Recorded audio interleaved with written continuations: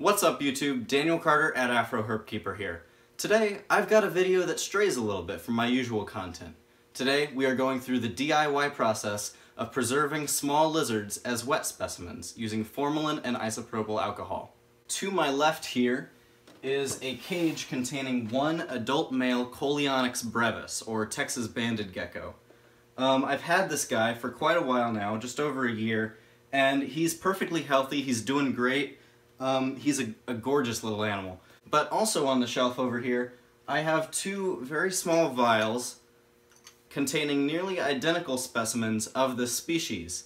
Uh, these are both, I, I, believe both of them are also male.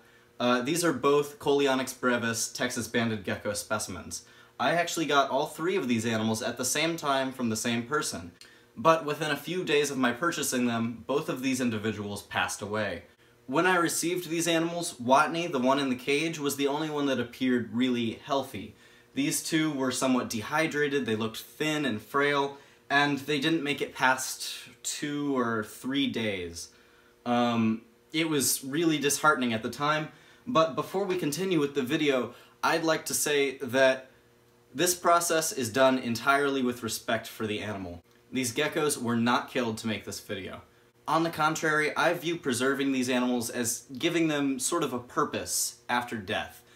Though they may have passed on, their bodies have not gone to waste. These animals could be used, perhaps in the future, for scientific research, they could go to a museum collection, anything of that sort. If you'd like to learn this means of preservation at home, I'll be walking you through it every step of the way.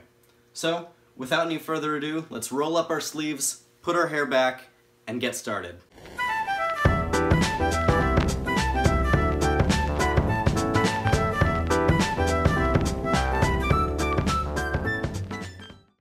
So, to reiterate, today we're preserving two Texas banded geckos, Coleonyx brevis. Neither of these animals were harmed for this video, and both passed away from natural causes. Preserved animals of this sort are fascinating to examine and often hold potential to be used as scientific specimens. Properly preserved specimens can remain intact for decades or longer. Many people choose to preserve their pets, especially exotic animals, so that they aren't forgotten, and to give them meaning after death so they don't go to waste. It's worth disclaiming that this was my first time working with any of these materials or preserving any sort of wet specimens. There are likely numerous other methods that work just as well as mine. However, over a year later, my geckos look exactly as they did when this was filmed, meaning the process works just fine. The entire preservation process can take anywhere from two weeks to two months, depending on the sizes of your specimens. But this video will be documenting the preservation of two very small animals, so it shouldn't take quite that long. I'll be preparing the geckos to soak in 10% formalin. Formalin is a formaldehyde solution often used as a fixative for biological specimens, mainly fish, reptiles, amphibians, birds, and mammals. Its primary function is to cross-link proteins, stop cellular respiration, and kill bacteria within the specimen. To create 10% formalin, you'll need 37% formaldehyde and distilled water. 37% formaldehyde is equivalent to 100% formalin, all you have to do is mix 1 part 37% formaldehyde with 9 parts water. I have 40% formaldehyde, so I'll be using a little extra water. Formaldehyde is highly carcinogenic, so be certain to use proper protection while working. I'm linking a more complete guide in the description below, so please read through it if you're considering using these materials. I will be wearing latex gloves, safety goggles, and working under a fume hood. This ensures that the fumes released by the materials are sucked up via a ventilation system. Before we get to using our formalin, the specimens need to be cleaned. Both geckos were frozen within 12 hours of their passing. The sooner this can be done, the better. If rigor mortis sets in, your specimens will be stiff and difficult to position. Once frozen, it's important to allow any specimen to thaw out before processing. First, your animals need to be rinsed off to remove any material such as blood or dirt that could be obstructing the outer layer of skin. This is especially important when working with birds and mammals, as they often excrete oils, lipids, and waxy materials. Dish soap can be useful to counteract this in higher vertebrates, but reptiles, amphibians, and fish can usually be rinsed with just water. I'm using soap anyways, just because it can't really hurt. Now that the geckos have been cleaned, it's time to position them. One aspect of formalin is that it actually stiffens the bodies of specimens, similar to rigor mortis. So, what we're doing now is placing the geckos in the position we want them to stay in for good. Animals larger than these will actually need to be injected with formalin. Generally, it should be injected at even intervals anywhere the body exceeds 3 fourths of an inch in width, and in large muscle masses. However, these specimens are small and thin enough that the formalin will be able to reach everywhere without injection. You can use either a glass container or a pickling tray to fix your specimens, and paper towels can be used to keep them in place if need be. Generally, you want to use a container that holds 8 to 10 times as much fluid as the specimen takes up. Once you're happy with the look and placement of your animals, it's time to fill the containers with our 10% formalin solution. Once again, be sure to use protection while working with formalin. Keep it off your skin and out of your eyes and avoid inhaling it. If you don't have a fume hood available, work outdoors or use a fan to blow the fumes away from you. You don't want to end up with fixed eyes.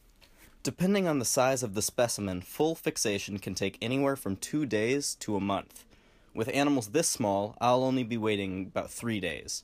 Something the size of an adult ball python would take approximately two weeks, and something the size of an adult snapping turtle would take around a month. While we wait, I'm going to create our second solution. This is the long-term preservative that will keep our specimens looking just as they did in life. The substance which will serve this purpose is a 75% ethyl alcohol, also known as ethanol. Though it's not nearly as harmful as formalin, it's still a poison. If it splashes on your skin, there's no need to worry. Just don't drink it. Before we can place our specimens in their final preservative, we need to get their cells adjusted to the alcohol. Dropping them straight into a 75% ethanol solution could be damaging and would likely dry them out. To compensate for this, I'm creating a mixture with a lower percentage of alcohol, around 50% alcohol, 50% distilled water.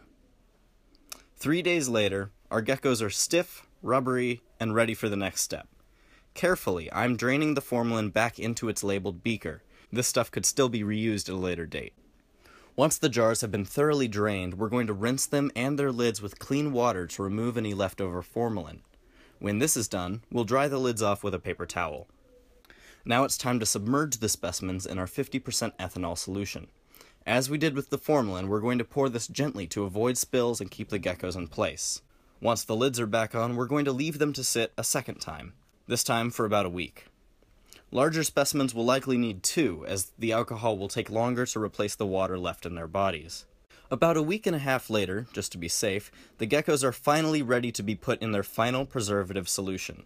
The 50% mixture will be carefully drained from our specimen jars, but unlike the formalin, this can be disposed of just about anywhere. Since it's composed of the same material as our final solution, we don't need to dry the jars either. Once we've carefully filled the jars with 75% ethyl alcohol, the process is finally complete, and we can sit back to admire the beautiful creatures we've preserved. If you have any questions, please don't hesitate to ask in the comments below. As previously stated, there's an even more complete guide linked in the description. If you used this video as a means of preserving your own specimens, I'd love to see them. I can be reached through YouTube, Instagram, or by email at afroherpkeeper at gmail.com. If you enjoyed the video, please be sure to leave a like or comment, and if you're new to the channel, be sure to subscribe so you can join me for even more reptile-related content in the future. Thanks for watching.